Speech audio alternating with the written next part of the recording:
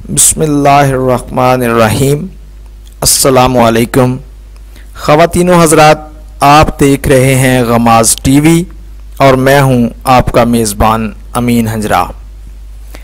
आज की इस वीडियो को शुरू से आखिर तक ज़रूर देखिएगा ताकि मौजू से मुतलक तमाम मालूम बेहतर अंदाज में आप तक पहुँच सकें।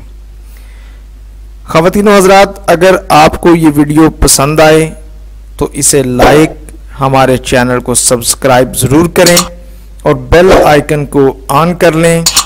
नाजरीन, चंद रोज़ कबल ऐसी खबरें गर्दिश में थीं कि यूएई के वीज़े बैन कर दिए गए हैं और जो लोग कोरोना की वजह से पाकिस्तान वापस आए थे, अब दोबारा यूएई नहीं जा सकेंगे। और कुछ गैर मुसदा इतलात ऐसी भी थी कि यूएई में मौजूद पाकिस्तानियों के वीज़े भी कैंसिल कर दिए जाएँगे और इन्हें बेरोज़गारी की हालत में वापस आना पड़ेगा। जिस पर जुल्फ़ी बुखारी ने अपने ट्विटर बयान में कहा था कि ऐसी खबरों में कोई सदाकत नहीं है, यूएई ने पाकिस्तानी अफराधी कुत पर किसी किस्म की पाबंदी आयद नहीं की है। नाजरीन, आज वज़ीर खारजा शाह महमूद कुरेशी ने अपनी अमाराती हम मनसब के साथ मुलाकात में मुतहदा अरब अमारात के वीज़े के हवाले से पाकिस्तानी शहरीों को दरपेश मुश्किल को उजागर किया है।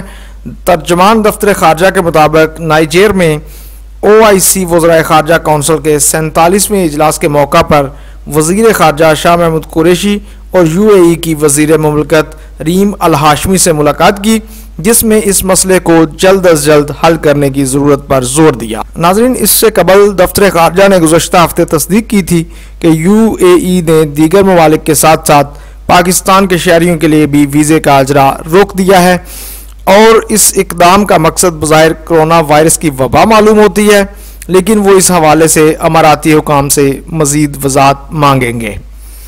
अमाराती वज़ीर के साथ मुलाकात में वज़ीर खारजा ने दोनों ममालिक के माबेन, करीबी बरदराना तल्लक और आवाम के दरमियान रबतों को उजागर किया और मुख्तलिफ़ शोबों में पाकिस्तान के मुतहदा अरब अमारात के साथ करीबी तावन के अज़म को दोहराया। मुलाकात के दौरान फ्री कैन ने दो तरफा तावन, कोविड नाइन्टीन की सूरत हाल, एक्सपो में पाकिस्तान की शिरकत और बाहमी दिलचस्पी के दीगर अमूर पर तबादला ख्याल किया। ओ आई सी वज्राय खारजा कौंसिल के अजलास में शाह महमूद कुरेशी के बयान को सराहते हुए अमाराती वज़ीर ने पाकिस्तान की जानब से इस्लामोफोबिया के तदारक के लिए इस्लामी तावन तंजीम ओ आई सी की करारदाद की तजवीज़ को सराहा। दोनों ने ओ आई सी मामला पर भी तबादला ख्याल किया और उमत मुसलमा के लिए मतहदा और बुनियादी प्लेटफार्म की हैसियत से इसको मज़ीद मुस्तकम करने की अहमियत पर ज़ोर दिया। दोनों अहदेदारों ने दो तरफा तावन में मज़ीद बेहतरी लाने के लिए अली सतह पर बाहमी तबादलों में इजाफे पर इतफाक़ किया। नाजरन, जैसा कि मैं पहले भी वाज कर चुका हूँ कि कुछ रोज़ कबल ये रिपोर्ट्स सामने आई थी कि मुतहदा अरब अमारात ने पाकिस्तान, अफ़गानिस्तान और दीगर मुस्लिम अक्सरीती ममालक के शहरीों के नए वीज़े के अजरा का अमल सिक्योरिटी खदशात के पेश नज़र आर्जी तौर पर रोक दिया है। ताहम ये नहीं बताया गया था कि ये सिक्योरिटी खदशात किस नोयत के हैं।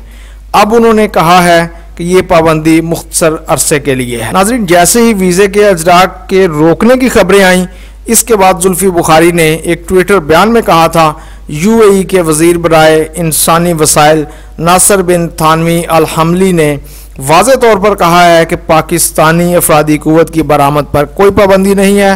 और मुतहदा अरब अमारात इन कारकुनों को तरजीह दे रहा है, जो वर्चुअल लेबर मार्केट डेटाबेस पर रजिस्टर्ड थे।